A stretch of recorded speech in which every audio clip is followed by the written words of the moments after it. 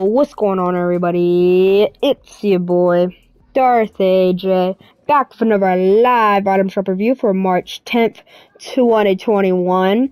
Also, I uploaded the second part for the Marvel's Avengers Kate Bishop earlier today, so make sure you go check that out after this. So let's see what's here today. Alright, so we have Victoria Saint with the Edit Styles uh, default and hat off with the back bling Slayer's saddlebag. St Stake and Stalker pickaxe. Okay. Bunny Wolf with the uh with edit styles, the reactive or non-reactive, and the heart grid um back bling either blue or pink. La, La, Lion with the edit styles, uh, reactive neon lava or neon neon lion.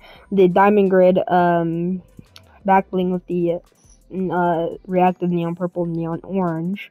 Neon, neon, neon, I can't speak, um, is back.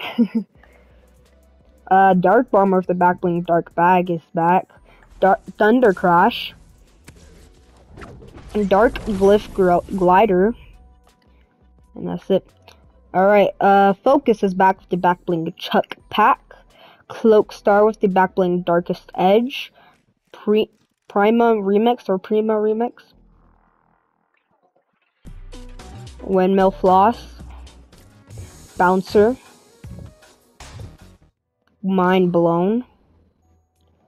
And that's it. Uh, Epic Whales Locker Bundle still here. Um, uh, Ant-Man, Venom, Black Widow, Deadpool Mashup, Deadpool Gear, X-Force, X-Force Gear, Ghost Rider, Silver Surfer, Daredevil, Captain America Grand Salute, Blade, Hulk Smasher Snap, Kratos, Laser Beam, Master Chief are all still here. So that'll be it for the March 10th, 2021 live item shop review. So I'll see you guys next time. Goodbye.